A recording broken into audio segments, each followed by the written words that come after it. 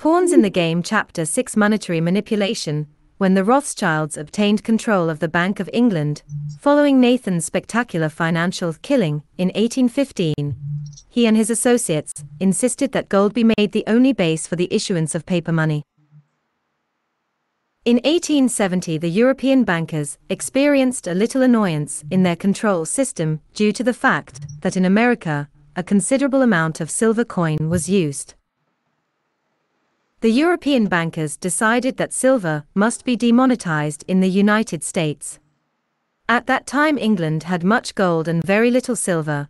America had much silver and very little gold. JT, the bankers on both sides of the Atlantic knew that while this difference continued, they could not obtain absolute control of the economy of the nation, and absolute control is essential for the success of big scale manipulation.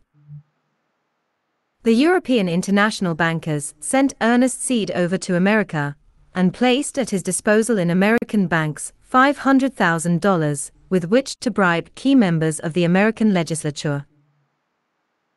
In 1873, at the instigation of the bankers, their agents introduced a bill, innocently named the Bill to Reform Coinage and Mint Laws. It was cleverly drafted, Many pages of writing concealed the real purpose behind the bill. The bill was sponsored by none other than Senator John Sherman, whose letter to the House of Rothschild has already been referred to. Sherman was supported by Congressman Samuel Hooper.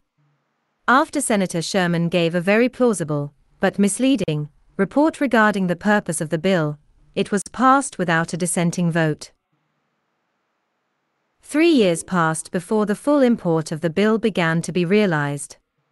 It was a camouflaged bill to demonetize silver.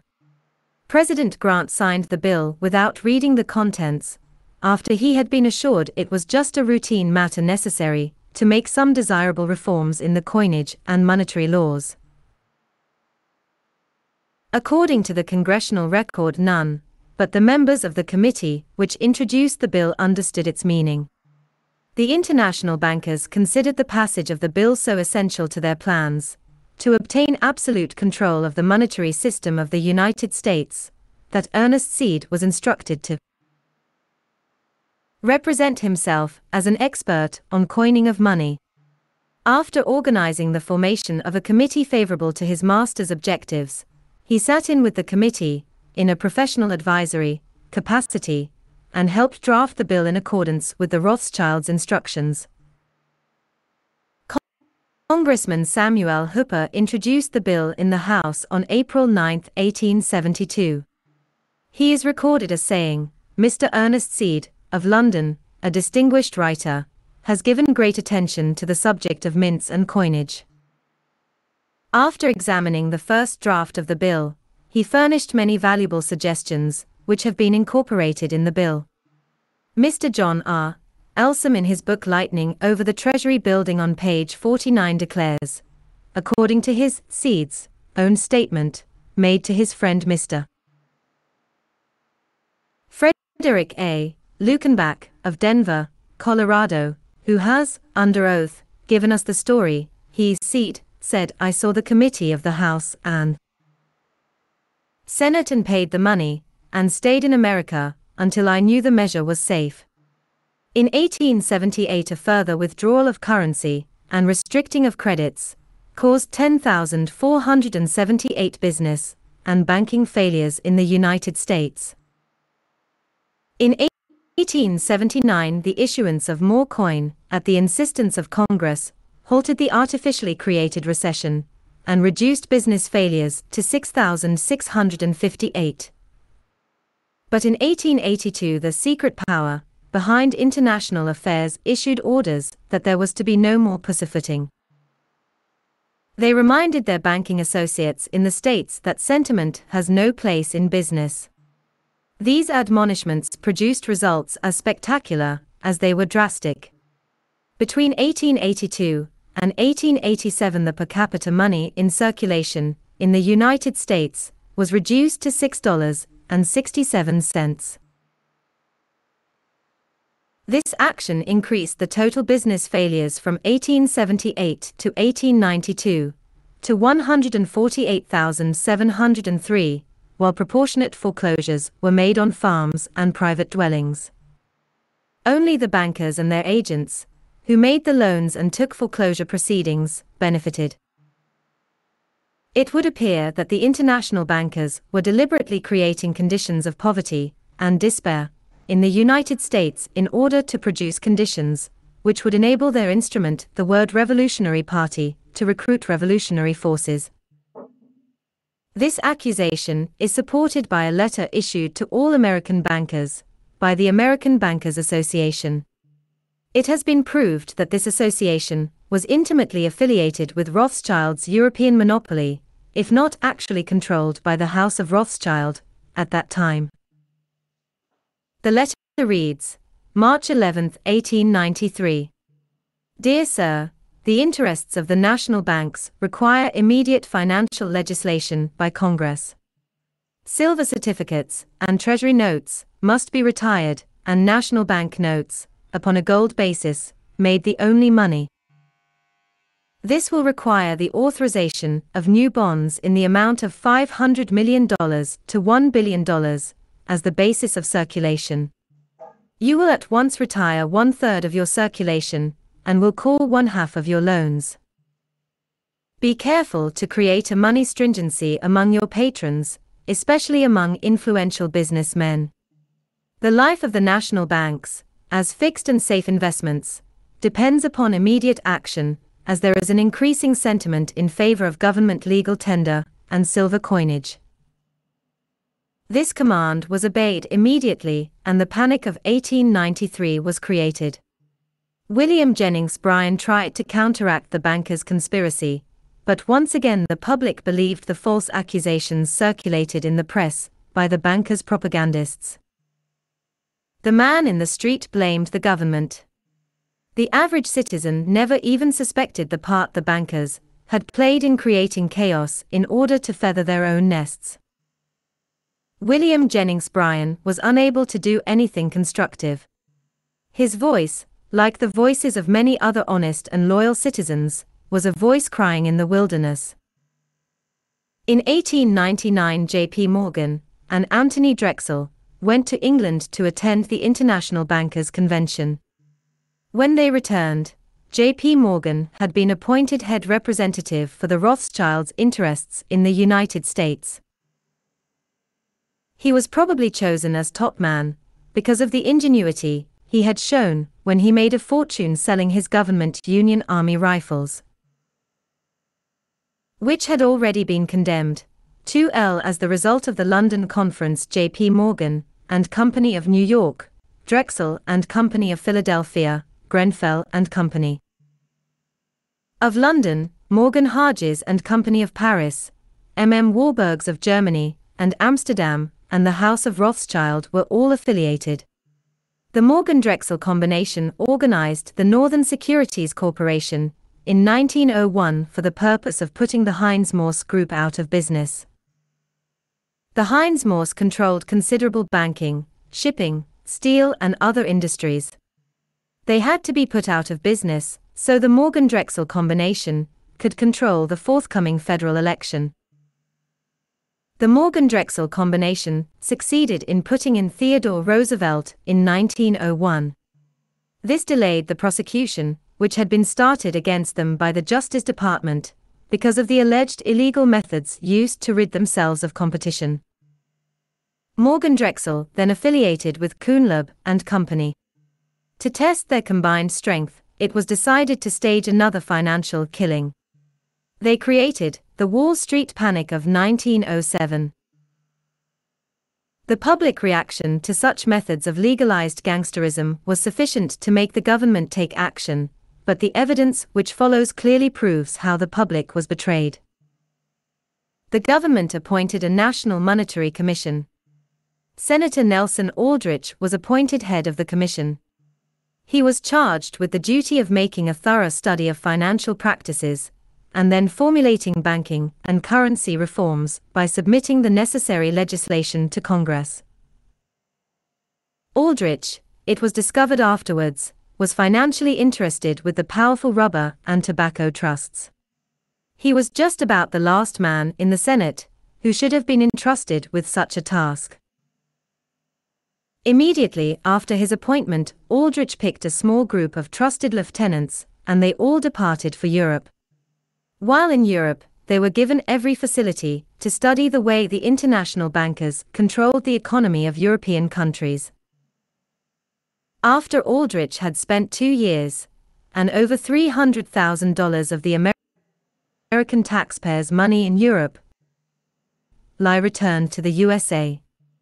All the public received for their money was to be told by Aldrich that he hadn't been able to arrive at any definite plan, which would prevent recurring financial panics, which had upset business, created unemployment, and destroyed many small fortunes in the USA since the Civil War. Aldrich was so close to the Rockefellers that J.D. Jr. married his daughter Abby. Prior to the tour of Europe, Aldrich had been advised to consult Paul Warburg. This Paul Moritz Warburg was a unique character. He had arrived in the USA as a German immigrant about 1902.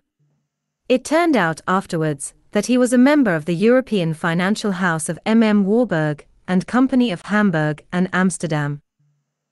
This company was as we have seen, with the House of Rothschild.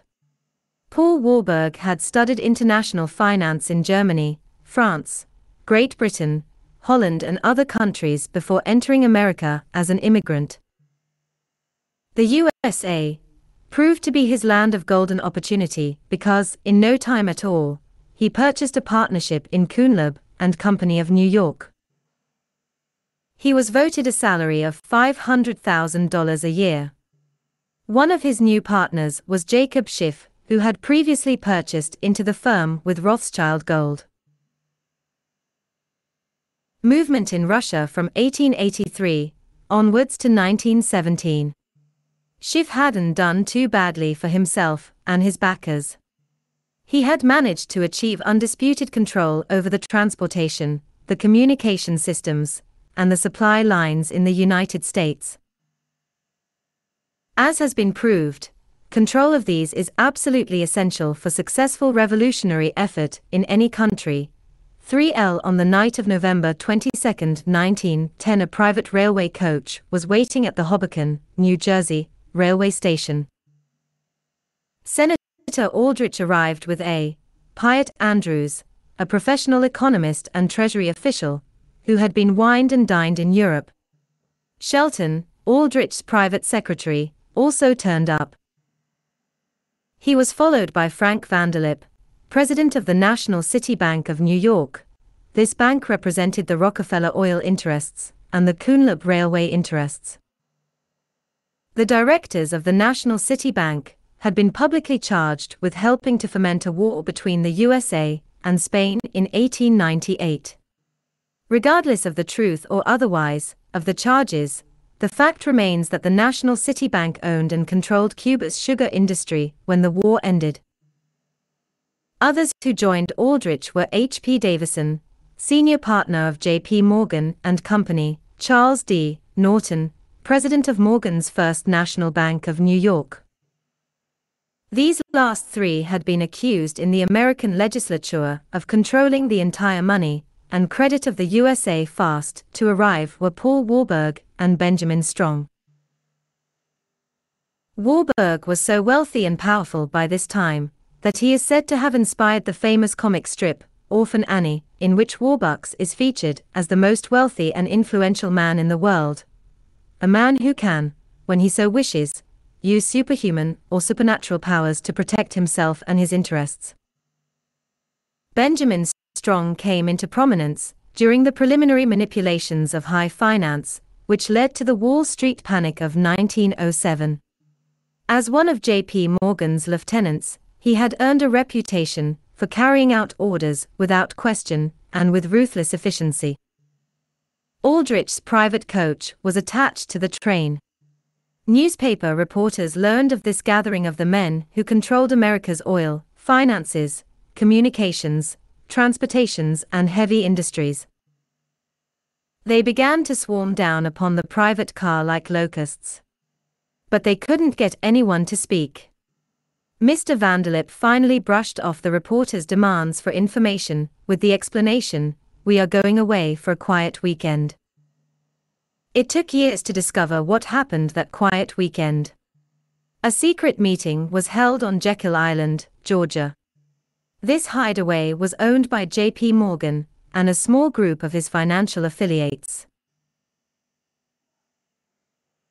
The business discussed at the meeting referred to was ways and means to ensure that proposed legislation to curb financial racketeering and monetary manipulation in the USA be sabotaged and legislation favorable to those attending the secret meeting be substituted.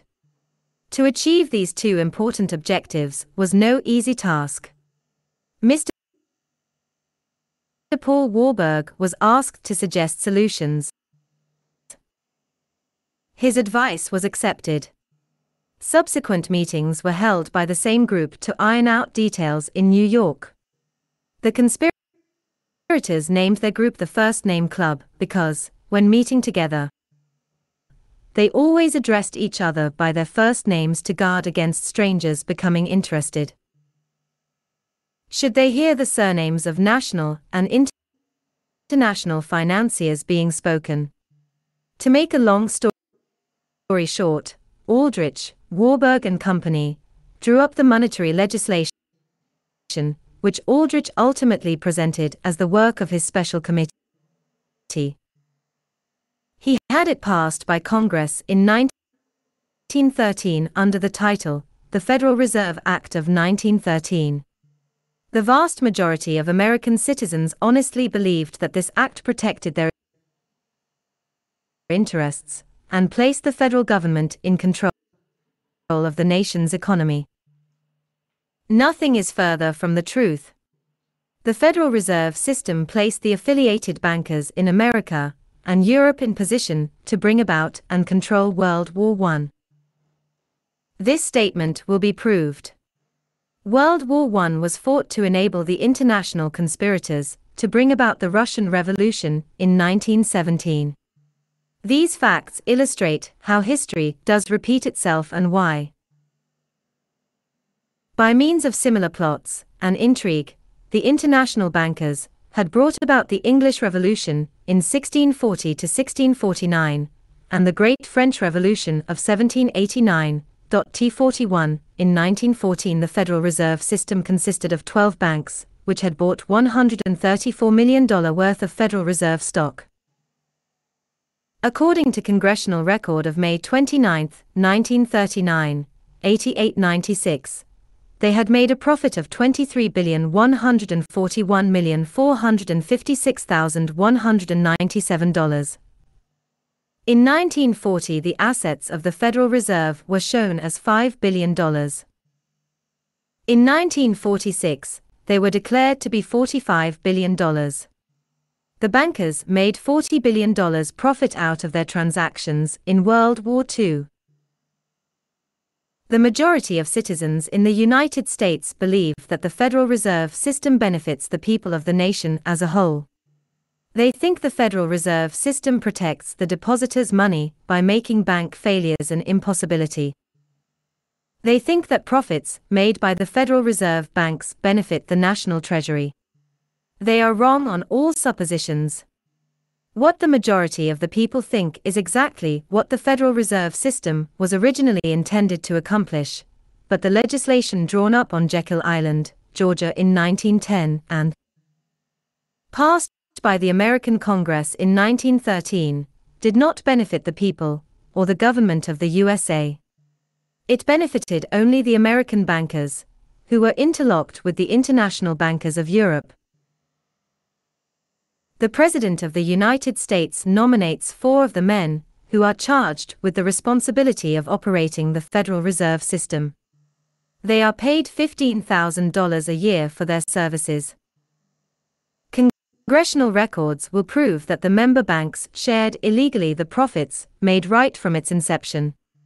It wasn't until 1922 that the original act was amended so the bankers could take the profits legally. Regarding the delusion that the Federal Reserve System protects people who deposit their money for safekeeping in American banks against possible bank failures. Statistics show that since the Federal Reserve System came into operation in 1913, over 14,000 banks have failed. Millions upon millions of the depositors' hard earned money were lost to the rightful owners. As money or wealth, generally speaking, is indestructible, somebody got what the others lost. That is what we term smart business today. One, it was to aggravate this situation that agents of the international conspirators in America organized the gangs of stagecoach and train robbers to intercept shipments of gold being sent from various mines to the U.S. Treasury during this period. This connection between international bankers and the underworld will be proved to exist even today. 2. Gustavus Myers deals with J.P. Morgan's and his father's connections with the House of Rothschild in much greater detail, and all Americans who wish to stop history repeating itself should read how they were sold down the river in the middle of last century. It is explained in another chapter how the international bankers met in one section of London and planned policy, while the revolutionary leaders met in another and worked out the details of intrigue which would put the wars and revolutions planned by the masterminds into effect. Three investigations in several countries already subjugated prove that the financial tycoons, who owned and controlled the transportation systems on land and sea, and affiliated industries deliberately brought about conditions which led to general strikes immediately prior to the date set for a revolutionary effort to take place. It must be obvious that these international tycoons cannot form dictatorships, as they did in Russia, until existing governments and institutions have been overthrown. This book proves how this purpose was achieved in Russia. Fourth of full details of the Federal Reserve. Conspiracy read the book of that title written by Eustace Mullins and published by Common Sense, Union, New Jersey. 1954. Guy Carr Pawns in the game Chapter 7 Events preceding the Russian Revolution The invasion of Russia in 1812 by Napoleon shook the Russian people to the